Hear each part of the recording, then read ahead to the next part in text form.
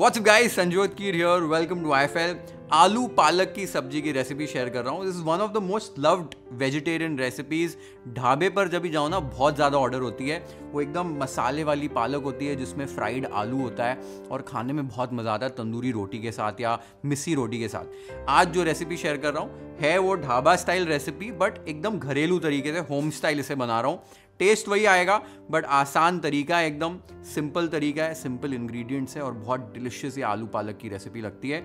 और इसे आप जब चपाती के साथ या चावल के साथ खाओगे, मज़ा आ जाएगा आपको।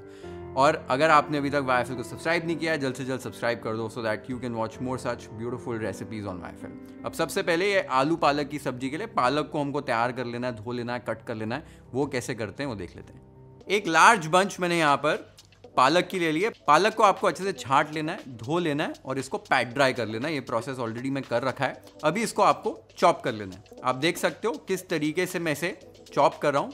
ऐसे ही सारी पालक को आपको चॉप कर लेना जो डंडियाँ अभी है ना, वो फेंकनी नहीं है। थोड़ी डंडी भी रहेगी तो चलेगा। ये सारी पालक आप देख सकते हो, मैंने चॉप कर ली है। तो पालक एक लार्ज बंच यहाँ पर लिया। आपको ऐसे लग रहा होगा बहुत ज़्यादा पालक है, लेकिन पालक जब पकती है ना, पानी बहुत ज़्यादा होता है तो एकदम श्रिंक हो जाती है। तो पालक अच्छी लीजिए तो ही वो पालक वाला मसाला बनेगा और पालक काफ़ी दिखेगा आपको इस सब्ज़ी के अंदर। नहीं तो सिर्फ़ आलू और मसाला दिखेगा पालक जो है वो एकदम गायब हो जाएगी। तो पालक अच्छी क्वांटिटी में लेनी है। पालक जब भी आप घर पे लाते हो, क्योंकि कभी कभी मिट्टी होती है, गंदी होती है पालक तो अच्छे से इसको आपको छांट लेना है। अच्छे से धो लेना है और थोड़ा सा पैट ड्राई कर लेना, ये बहुत इंपॉर्टेंट है। पैट ड्राई करने के बाद फिर ही इसको कट कीजिए। काटने के बाद इसको धोना नहीं है, ये इंपॉर्टेंट है। तो पालक हमने तैयार करके रख ली। अभी अगला प्रोसेस ये हमको मसाले, इसके भूनने, साथ में आलू की भी जो तैयारी, आगे का प्रोसेस जो है, वो देख लेते हैं। एक कढ़ाई में तीन टेबल सरसों का तेल ऐड कीजिए। अब तेल को आपको अच्छे से गर्म कर लेना है, इसका धुआँ छूट जाए, तब तक इसको अच्छे से गर्म कर लीजिए, ताकि जो सरसों की तेल की झांस है, वो कम हो जाए। एक बार तेल में से धुआँ छूट जाए, फ्लेम को लो कर दीजिए, हल्का सा रुकिए और फिर ही इसके अंदर आपको आलू ऐड करने यहाँ पर मैंने तीन मीडियम साइज़ के आलू काट कर रखे हुए थे इस तरीके से। केयरफुली आलू को ऐड कर दीजिए तेल के अंदर, क्योंकि आलू को मैंने पानी में रखा था थोड़ा तेल जो है उस स्प्लटर करेगा, ध्यान से ऐड करना है। मीडियम फ्लेम या मीडियम हाई फ्लेम पर इसको आलू को अच्छे से आपको पकाना है। जब तक ये लगभग 85 टू 90 परसेंट कुक हो जाए। अच्छे से रंग पकड़ जाना चाहिए बाहर और आलू ऑलमोस्ट कुक हो जाने चाहिए। तो बीच बीच में स्टर करते हुए आलूओं को अच्छे से पका लीजिए।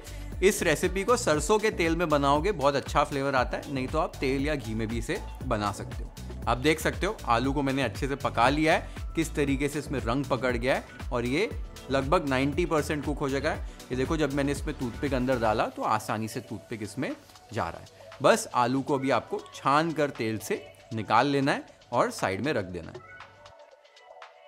अब सेम तेल में, तेल जब गर्म हो, तब एक सूखी लाल मिर्च, वन फोर्थ टी स्पून हींग आधा टीस्पून जीरा और दो मीडियम साइज़ के प्याज ऐड करने अब प्याज को आपको लाइट गोल्डन ब्राउन होने तक अच्छे से पका लेना है। अच्छे से स्टर करते हुए पका लीजिए। एक बार प्याज लाइट गोल्डन ब्राउन हो जाए, इस स्टेज पर इसके अंदर एक टेबल स्पून चॉप किया हुआ लहसन, एक टीस्पून चॉप किया हुआ अदरक और दो चॉप की हुई हरी मिर्चियाँ ऐड कर दीजिए और हल्का सा भी यहाँ पर लहसन और अदरक को भी भून लीजिए। लगभग एक डेढ़ मिनट, दो मिनट लग जाएँगे।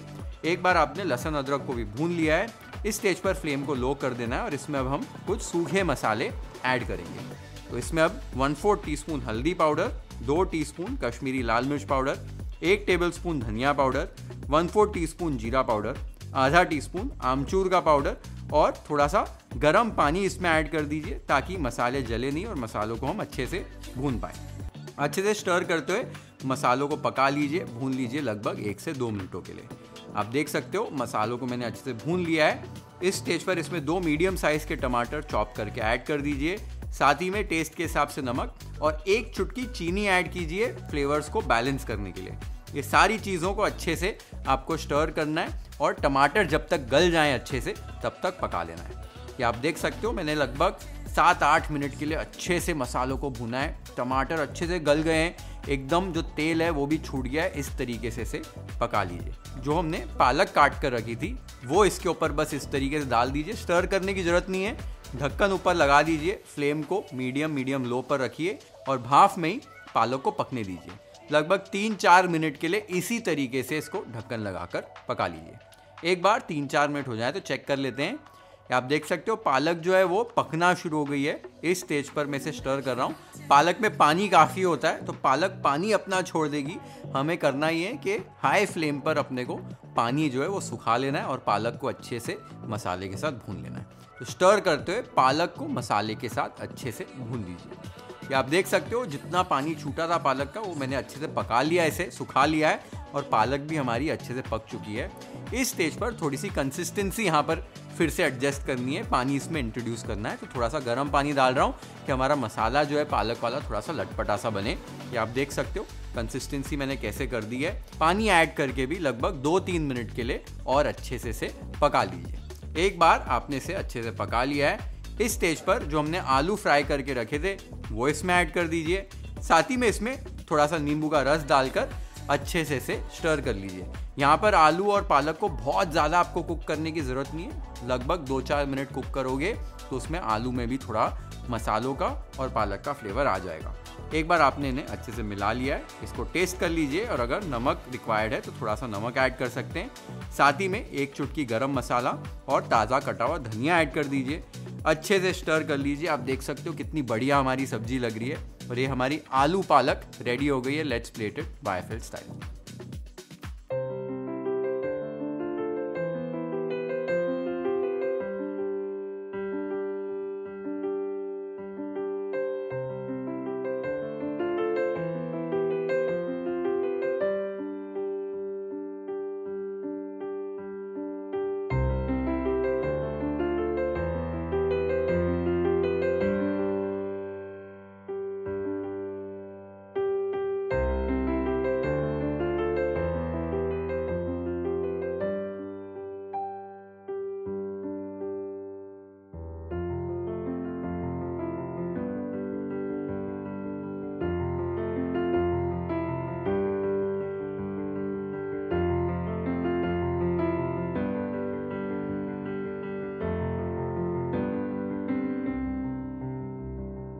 बहुत डिलिशियस ये रेसिपी बनती है और अगर आपने रेसिपी पहले नहीं खाई है तो ज़रूर इसको पकाकर घर पे बनाइए और खाइए।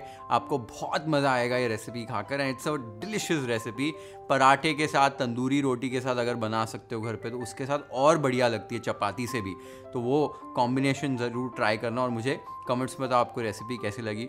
Share this video with your friends and family hit the like button if you like this recipe follow and subscribe to Y F L if you have at have an amazing time this beautiful recipe at your home cheers